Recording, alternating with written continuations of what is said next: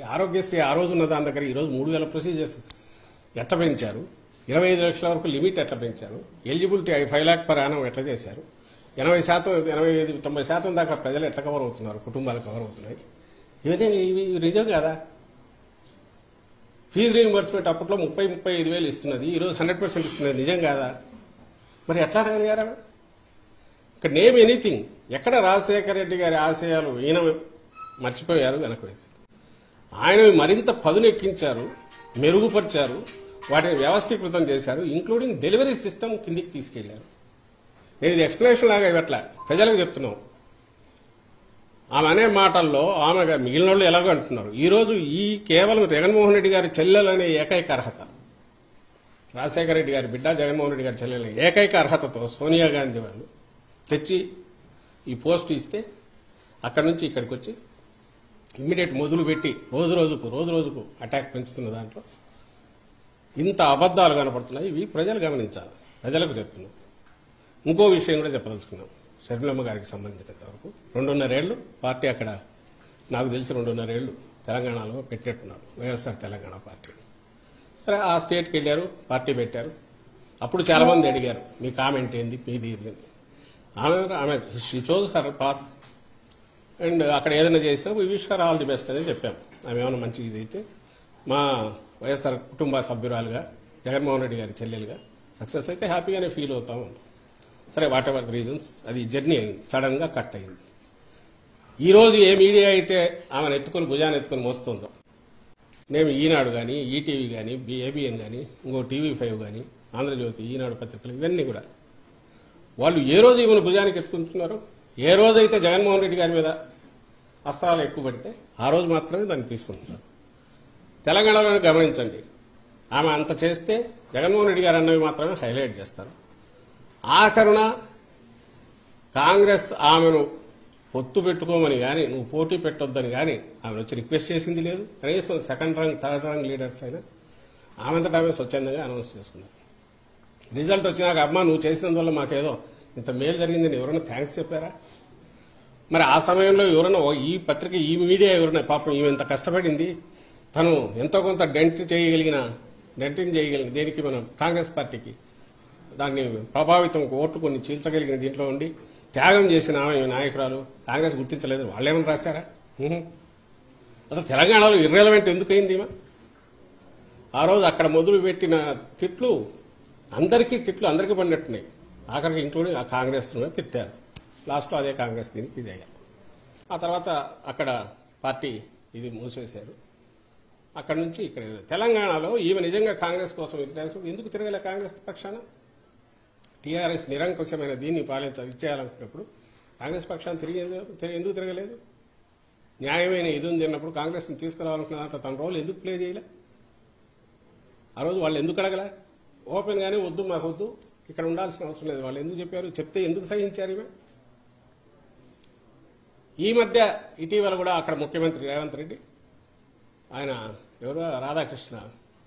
Open heart surgery open heart అంటే open heart with Radhakrishna RK RK. Surgery అని వచ్చింది sir. Open heart with ఆర్కేలో. దాంట్లో మాట్లాడుతూ ఏమంటారు? రాజశేఖర రెడ్డి గారు అప్పట్లో టీఆర్ఎస్ నుంచి మిగిలిన వాటి నుంచి వలసలను ప్రోత్సహించి డిఫెక్షన్స్ ప్రోత్సహించడం వల్ల ఇప్పుడు ప్రకృతి తన దాన్ని ఎట్లా కేర్ తీసుకోవాలని అట్లా తీసుకుంది. అర్థమేమండి అంటే ఆయన మరణించింది దానివల్లనే కదా? వేరే మీనింగ్ ఏమొస్తుంది నాకు అర్థం కావట్లేదు. ప్రకృతికి ఈ డిఫెక్షన్స్ సంబంధం ఏముంది? ప్రకృతి ఎక్కడ వర్షం పడి ఆగుతుంది? పంటన అయిపోవడానికి. మరి అన్నప్పుడు ఆ పార్టీలో కనీసం ఆ- అలాంటి పార్టీలో ఈ రోజుకు అక్కడ ఉన్న ఒక వ్యక్తి అందులో సాక్షాత్ ముఖ్యమంత్రి ఆ పార్టీ ముఖ్యమంత్రి. అక్కడ అంటుంటే అసలు ఎట్లా మీ- దాని గురించి ఏమంటారు? ఎందుకు ఈ రియాక్షన్స్ ఎందుకు జరుగుతున్నాయి? మీరు మాట్లాడాల్సినవి ఇవన్నీ ఉన్నాయి. షమిలమ్మ గారు. తన బిహేవియర్ దానికి సంబంధించి చెప్పాల్సినవి ఇవన్నీ ఉన్నాయి. అక్కడ నుంచి ఇక్కడికి రావడం రావడం ఇక్కడ మొదలుపెట్టారు.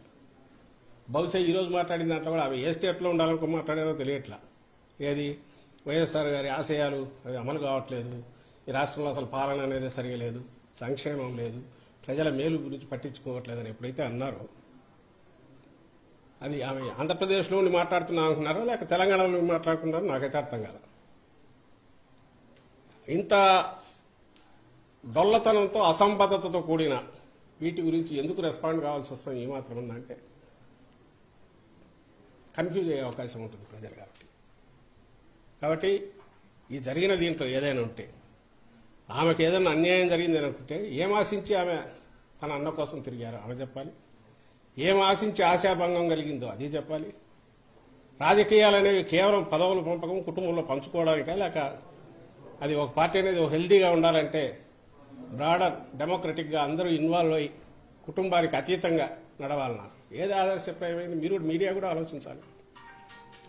ఈరోజు జగన్మోహన్ రెడ్డి గారు వేస్తున్న అడుగులు కానీ పార్టీని నడుపుతున్న తీరు కానీ ప్రభుత్వం లో కుటుంబానికి సంబంధించి పరిమితం చేయడం కానీ ఎక్కడికక్కడ చేయడం అనేది అదే ఆదర్శప్రాయమైంది ప్రజలు ఎన్నుకున్నది రాజకీయ పార్టీని ఆ పార్టీ నాయకుడుగా అధినేతగా జగన్మోహన్ రెడ్డి గారి ఆలోచనలు నచ్చాయి and regional party more so in regional party ఎవరైతే దాన్ని హెడ్ చేస్తున్న నాయకుడు ఉన్నాడో ఆయన ఆలోచనలు ఆయన వ్యవహార శైలి ఆయన ఇవి దిశానిర్దేశం చేస్తాయి. ఆయన వాటిని బట్టే ప్రజలు కూడా జడ్జి చేసుకుంటారు. ఆ జడ్జి చేసుకోవడంలో జగన్మోహన్ రెడ్డి గారు ఒకరు. ఆయన ఇంకొక వారసత్వం కానీ ఇంకోటి కానీ అటు ఇటు లేదు. లేదా కుటుంబంలో పదవుల కోసం ఆయన ఇచ్చేయట్లేదు పార్టీని హెల్దీగా ఉంచడానికి ఈ ఇలాంటి బంధాలకన్నిటికీ అతీతంగా నడుపుతున్నాడు అనేది ఆదర్శప్రాయమైంది. అది వద్దని ఆమె అనుకుంటుంటే అది చెప్పాలి. లేదు ఇట్లే ఉండాలి. దాంట్లో నాకు ఇంత వాటా రావాలని అనుకున్నాను రాలేదంటే అదన్నా స్పెసిఫై చేయాలి.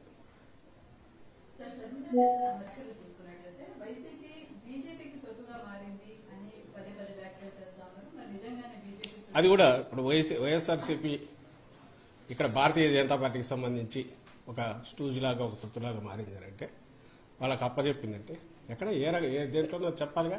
ఇక్కడున్న పథకాలు బీజేపీవే. ఇక్కడున్న ఆలోచన వీటికి జరుగుతున్న అమలు జరుగుతున్న బీజేపీవే.